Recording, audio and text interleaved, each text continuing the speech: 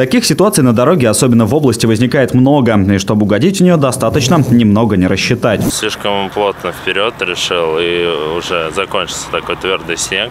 Попал в рыхлый снег, и правое колесо. Ну, когда стал выезжать, оно еще больше зарылось.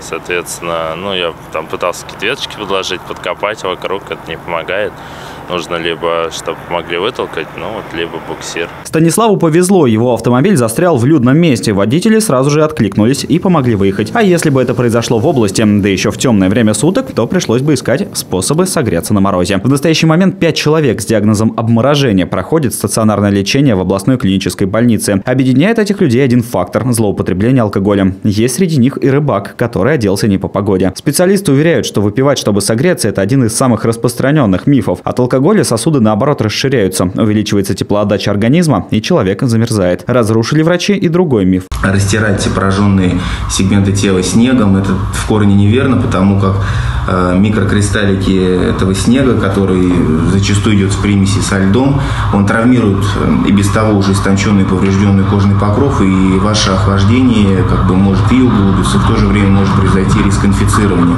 Первые признаки обморожения, которые появляются довольно быстро, это покалывание, зябкость и мурашки. Кожа становится бледной, особенно на кистях и стопах. А вот если признаки обморожения уже появились, то стоит сразу же обратиться к врачу. Медработники говорят, что чаще всего люди приходят уже слишком поздно, когда требуется лечение амбулаторное. Для того, чтобы этого избежать, совет всего один, каким бы банальным он не был – одеваться теплее. Одежда в первую очередь должна быть свободной. Э, одежда должна быть несколько слоев, в том числе рекомендуется использовать термобелье для отвода влаги.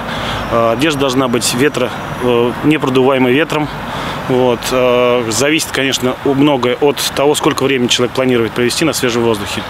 Вот. Э, обязательно должна быть шапка, лучше всего э, ушанка так как 40% тепла человеческого тела уходит через голову. После новогодних праздников рязанцев погода не балует. Ночью 7 и 8 января температура опускалась ниже 20 градусов. Подобное произойдет и в ночь на 10, а после станет теплее. С 11 января при приближении североатлантического циклона характер погоды начнет меняться.